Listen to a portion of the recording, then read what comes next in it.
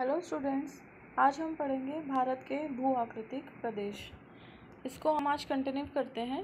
पिछली बार हमने भारत के जो भू आकृतिक प्रदेश है, जिनको भू आकृतिक विज्ञान की दृष्टि से चार भागों में बांटा गया है, उनमें से हमने पहले भाग के बारे में चर्चा करी थी, जो था उत्तरी पर्वतीय प्रदेश।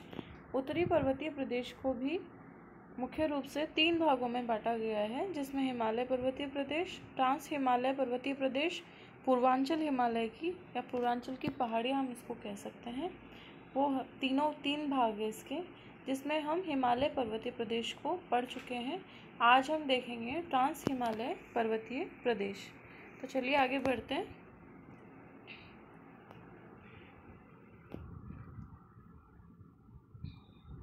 पिछली क्लास में हमने उत्तरी पर्वतीय प्रदेश में, हिमालय पर्वतीय प्रदेश को देख लिया था, परंतु कुछ महत्वपूर्ण तथ्य ऐसे थे जो रह गए थे, जिन्हें आज हम डिस्कस कर लेते हैं।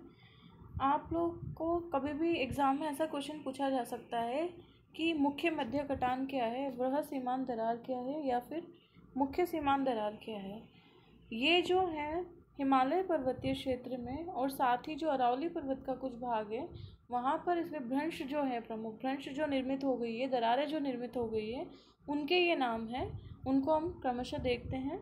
मुख्य मध्य कटान, मुख्य मध्य कटान यानी मेन सेंट्रल थ्रस्ट यह मुख्य मध्य कटान लघु हिमालय एवं महान हिमालय के बीच का एक विभाजक रेखा है। यानी कि लघु हिमालय और महान हिमालय के बीच में जो भ्रंश निर्मित हुआ है दरार निर्मित हुई है, उसको हम मुख्य मध्य मुख्य मध्य कटान कहते हैं। और इसकी लंबाई जो है 2200 किलोमीटर के आसपास है। अब इसमें इसको हम कह सकते हैं, ये एक भूगर्भिक दरार है बहुत बहुत ही बड़ी भूगर्भिक दरार है, इसलिए इसका नाम रखा गया है मुख्य मध्य कटान।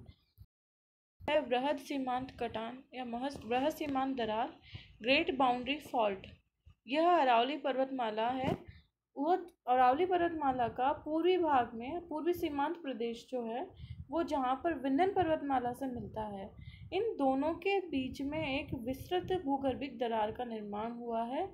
उसी को हम कहते हैं वृहद सीमांत दरार। सीमांत से आप लोग याद रखिएगा कि अरावली पर्वतमाला का जो पूर्वी सीमांत प्रदेश है, जो कि क्या मिलता है? विंध्य पर्वतमाला से मिलता है। उन दोनों के बीच में जो दरार निर्मित हुई है, वह है वृहद सीमांत दरार। तीसरा है मुख्य सीमांत दरार। यह जो है, लघु हिमालय श्रेणी और शिवालिक श्रेणी के मध्य एक भूगर्भिक दरार है। तो आप इन दोनों का, आप इन तीनों जो दरारें हैं, इनका अच्छे से ध्यान रखें। आप एक सिंबल बना के इसको याद कर सकते हैं, जैसे कि महान हिमालय और लघु हिमालय के बीच में एम है, यानी कि मेन सेंट्रल ट्रस्ट है, और लघु और शिवालिक के बीच में है मेन बाउंड्री फॉल्ट और आपको यह तो याद रहेगा ही कि वृह सीमांत दरार जो है, अरावली के सीमांत भाग और विंध्यन पर्वतमाला के बीच में है। तो चलिए आगे पढ़ते हैं। आज हम दूसरा भाग, ट्रांस हिमालय एवं या इसको हम तिब्बत हिमालय भी कह सकते हैं। यह जो है, यह महान हिमालय के उत्तर में स्थित है। चलिए इसको एक बार देख लीजिए आप। इसमें देखिए, यह वाला जो हिस्सा था, ये वृहद हिमालय। वृहद हिमालय उसके दक्षिण में लघु हिमालय और जो दक्षिणतम छोर जो है या फिर लघु हिमालय के समानांतर एक और जो श्रेणी है वो है शिवालिक हिमालय। ये तीनों श्रेणियाँ क्रमशः समानांतर रूप में फैली हुई है, परंतु यह जो भाग है, यानी जम्मू कश्मीर लद्दाख वाला जो क्षेत्र है, लद्दाख क्षेत्र है, लेह क्षेत्र है, ऊपरी जो भाग है, जिसको हम पीओ के कहते हैं, ये वाला हिस्सा, यह जो भाग है, इसको हम कहते हैं ट्रांस हिमालय। ट्रांस हिमालय में मूल रूप से कराकोरम श्रेणी, लद्दाख श्रेणी, और इसके साथ में एक और श्रेणी है, कैलाश श्रेणी, हम किसको कहते हैं? जास्कर श्रेणी, ये सब किसका भाग है? ट्रांस हिमालय का भाग है। ट्रांस हिमालय जो है, इसमें यह जो है, एशिया की रीढ़ के नाम से जाना जाता है। इसमें जो कराकोरम श्रेणी है, वो सबसे इम्पोर्टेंट है और इसी को हम कहते हैं उच्च एशिया की रीढ़। और ये जो गांठ है, जितनी भी श्रेणियाँ हैं, पर्वत श्रेणियाँ हैं, ये पामीर का जो गांठ है, पामीर नॉट हम इसको कहते हैं पामीर पठार जो है, उससे निकली हुई है। उससे निकली हुई है। इसमें तेनसांग है, कुन्नुल है, ये दो दो जो श्रेणियाँ हैं, ये तो है चीन के अंतर्गत। और जो बाकी जो शेष हैं, जिसमें कराकोरम, कैलाश, लद्दाख श्रेणी जास्कर श्रेणी, ये है कश्मीर वाला क्षेत्र, यानी कि भारत के अंतर्गत, जो कि ट्रांस हिमालय का भाग है। कभी कभार आपसे एग्ज़ाम में कॉम्पिटिटिव एग्ज़ाम में इनका क्रम पूछ लिया जाता है कि ट्रांस हिमालय की जो प्रमुख श्रेणियाँ हैं, उनका उत्तर से दक्षिण में क्रमशः इनको क्रम में जमाइए। तो आपको ये याद रखना है। इसमें एक इंपॉर्टेंट फैक्ट और है कि सिंधु नदी जो है, यहाँ की प्रमुख नदी है, और ये जास्कर और लद्दाख श्रेणी, ये जास्कर और लद्दाख श्रेणी के बीच में, जास्कर और लद्दाख श्रेणी के बीच में ये प्रवाहित होती है, और यहाँ से ये काटते हुए, यहाँ से प्रवाहित होते हुए यह बुंजी नामक स्थान पर भारत में सबसे गौरे गौज का निर्माण करती है। तो ये चीज़ भी एक इंपॉर्टेंट क्वेश्चन है इसमें भी कि भारत का जो सबसे गहरा गोर्ज है वो कौन सी नदी बना रही है? सिंधु नदी बना रही है और कहाँ पर बना रही है? बुंजी नामक स्थान पर। तो ये भी आप ध्यान रखिएगा और इस गौर्ज की जो गहराई है वो कितनी है? बावन सौ मीटर के लगभग। अगली जो है पहाड़ियाँ, वो है तीसरा भाग जो है पूर्वांचल की पहाड़ियाँ। पूर्वांचल की पहाड़ियाँ जो है पूर्व अंचल, यानी कि भारत का जो उत्तरी पर्वतीय प्रदेश है, भारत का जो उत्तरी पूर्वी जो राज्य स्थित हैं, जिनको हम सेवन सिस्टर स्टेट्स भी कहते हैं, ये वहाँ स्थित है, जिनमें अरुणाचल प्रदेश है, नागालैंड, मणिपुर, मिजोरम और त्रिपुरा, मेघालय और आसाम, ये प्रमुख राज्य हैं, जिनमें सिक्किम क्या कहते हैं, इसके अरुणाचल प्रदेश के बिल्कुल पश्चिमी छोर पर है। इसमें जो प्रमुख पहाड़ियाँ हैं, उनको हम इस तरह से पढ़ सकते हैं कि ये जो पहाड़ियाँ हैं, क्रमशः लगातार ये फैली हुई है और साथ ही साथ जो हमारे जो पड़ोसी जो देश हैं, जिनमें म्यांमार जो पड़ोसी देश है और भूटान जो पड़ोसी देश है और साथ ही चाइना जो है, इनके बीच में एक विस्तृत श्रृंखला का निर्माण करती है। जिन पहाड़ियों में, अगर अरुणाचल प्रदेश में स्थित पहाड़ियों की बात की जाए तो अका डफला, अबोर, मिशमी, ये पहाड़ियाँ प्रमुख हैं। नागा हिल्स जो है, नागालैंड में है, मणिपुर पहाड़ियाँ, मिजो पहाड़ियाँ, मिजोरम में, त्रिपुरा पहाड़ियाँ, बरेल पहाड़ी, असम में, मिकिर पहाड़ी, इसमें प्रमुख है गारो, खासी और जयंतिया।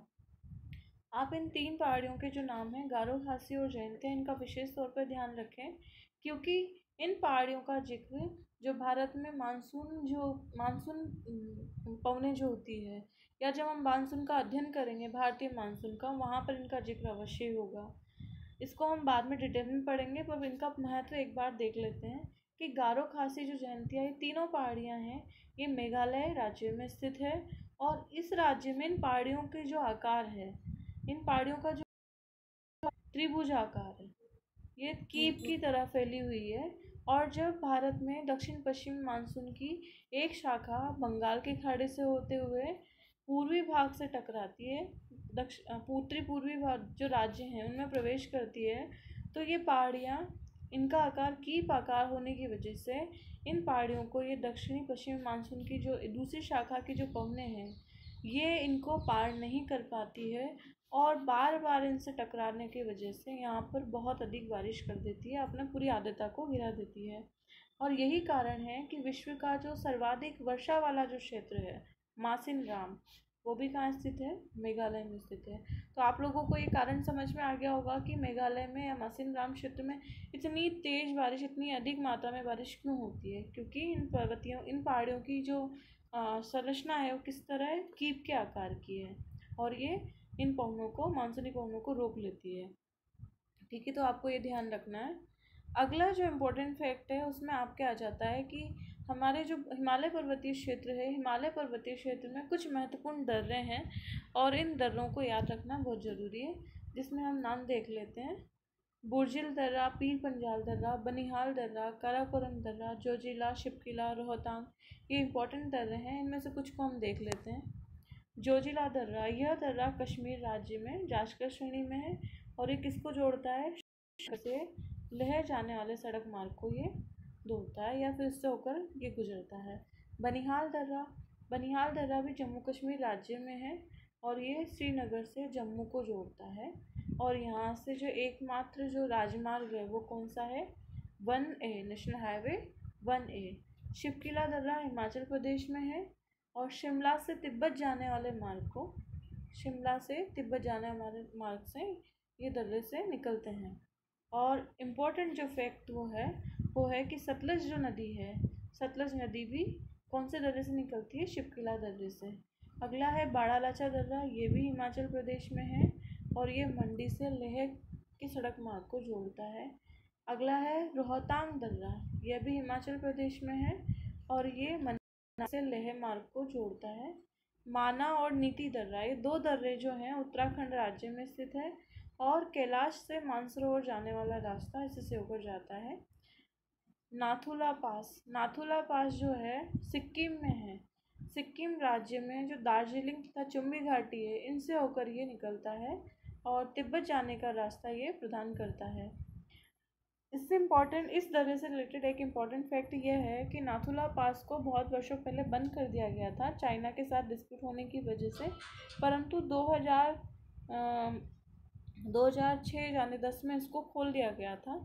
तो उसके बाद से ही इसको समय समय पर खोला जाता है और ये व्यापार के लिए इसका काफ़ी महत्व है।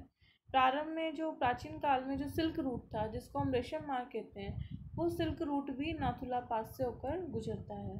तो इसका ये एक इंपॉर्टेंट फैक्ट है और ये सामरिक दृष्टि से भी नाथुला पास की काफ़ी इम्पोर्टेंस है। अगला है जेलेपला दर्रा, ये भी सिक्किम में है और भूटान से जाने का मार्ग भी जेलेपला दर्रा प्रदान करता है। तो आपको ये चीज़ ध्यान रखनी है कि नाथुला पास जो है तिब्बत को जोड़ता है, जो कि तिब्बत अभी चाइना जो क्षेत्र उसमें है और जलेपला दर्रा भूटान जैसे आने का मार्ग प्रदान करता है। अब आप यहाँ पर देखिए कि कुछ दो दर्रे हैं वो इम्पोर्टेंट है। यहाँ पर आप देखेंगे एक दर्रा है, पालघाट दर्रा और सिनकोटा दर्रा। पालघाट और सिनकोटा ये दोनों दक्षिण भारत के प्रमुख दर्रे हैं और इसके अतिरिक्त महाराष्ट्र में भी दो दर्रे हैं जिनमें थालघाट और भोरघाट हैं। थालघाट जो पास है, वो मुंबई से मुंबई से नासिक को जोड़ता है और भोरघाट जो पास है वो मुंबई से पुणे को जोड़ता है।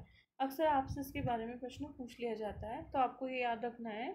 और एक और इम्पोर्टेंट फैक्ट वो है कि बनिहाल जो दर्रा है उससे एक सुरंग निकाली गई है, जिसे हम कहते हैं जवाहर सुरंग। वो जम्मू से श्रीनगर को जाने का रास्ता प्रदान करते हैं। तो ये थे इम्पोर्टेंट फैक्ट भारत के भू आकृतिक प्रदेशों में, उत्तरी पर्वतीय प्रदेश का। अब अब अगली क्लास में नेक्स्ट जो पार्ट है उसको हम पढ़ेंगे।